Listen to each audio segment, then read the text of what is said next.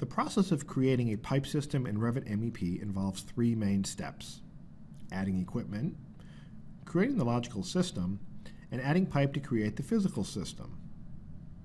For example, to create a hydronic piping system, begin by placing water source heat pumps. To do this, you select mechanical equipment and then select a specific type from the type selector. When placing these elements in the model, you can rotate them by pressing the space bar. Now place a boiler in the model using the same basic method you used to place the heat pump. Next, create the logical system. Begin by selecting one of the heat pumps and specifying the type of system. For the equipment, select the boiler. Finally, edit the system to add the second heat pump. After creating the logical system, you can edit it by adding or removing components. Revit MEP allows you to create the logical system before laying out the physical system.